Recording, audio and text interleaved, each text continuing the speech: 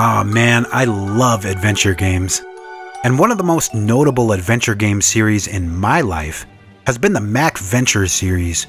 The Mac Venture series pioneered point and click adventure games through four games released back in the mid to late 80s.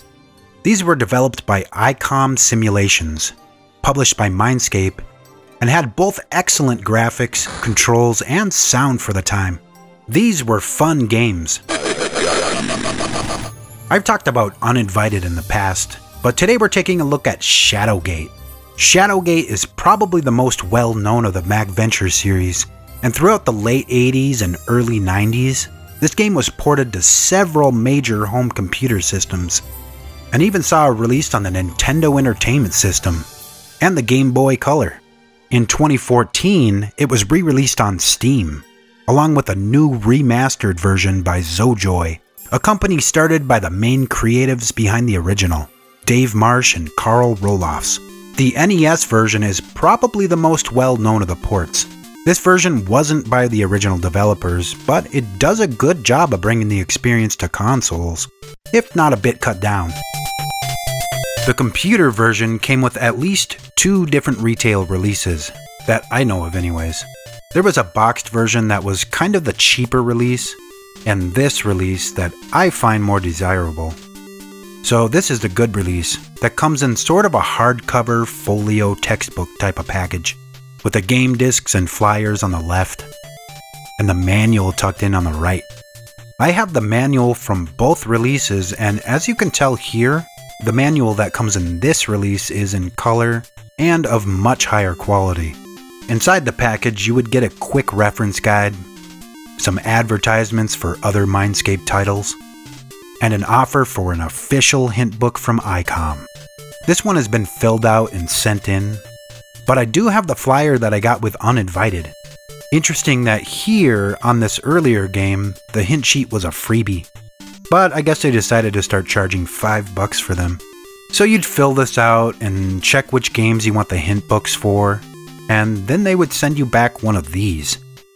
This hint book is interesting because it doesn't just flat out tell you the answers. It actually tries pretty well to keep you from spoiling the game. So you'd find the area of the game that you were stuck, then the puzzle that you're having trouble with. Then below it, you've got three separate answers which progressively get more revealing. They've also scrambled the answers in the back so that you can't just read the next line down to get the solution to the next puzzle. It really is a well put together hint book. I'll have to scan this if it's not online already. The story to Shadowgate is fairly simple, if not a bit generic at times. You, being the last of the line of kings, are the only person who can venture into Castle Shadowgate, a vast fortress populated by dragons, demons, and trolls. Your quest is to stop the evil warlock lord from using his dark magic to raise a nasty behemoth from the depths of the earth and save the world. The only way to defeat the warlock lord is with a weapon called the Staff of Ages, which you might have guessed has been broken into pieces. You've got to find all the pieces and put them back together, then face the warlock. The story does have a little more depth to it, which you can learn about if you make it to the library. But that's the gist of the story. Every interaction in the game is controlled here at the top of the screen. You can click on any of these buttons to perform the actions on different objects in the game. I've always really liked this interface. They used it throughout all the MacVenture games. It was a very easy command system. There's only one area in this entire game where you must use the keyboard to type a spell but the rest of the game is completely mouse controlled. Another main thing in this game, well, it might be the biggest thing, is that in order to stay alive, you must always have a lit torch throughout the game. The torches do stay lit for several turns, and once you see it start to flicker, that means it's time to light another. If you don't, you'll be trapped in the dark. At which point, you can move maybe one or two rooms before you fall and break your neck.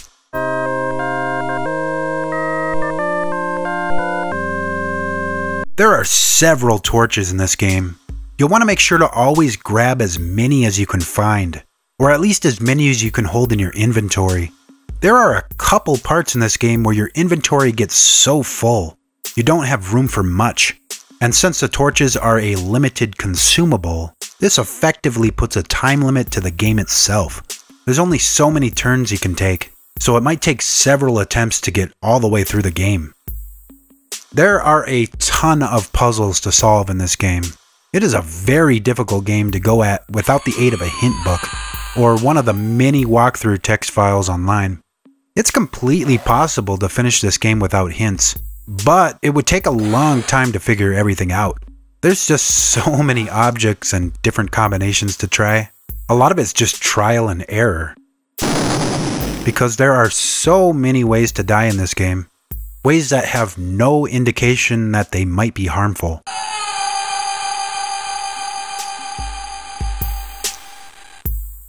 It will take a lot of torches to buy you enough time to experiment with different objects to progress.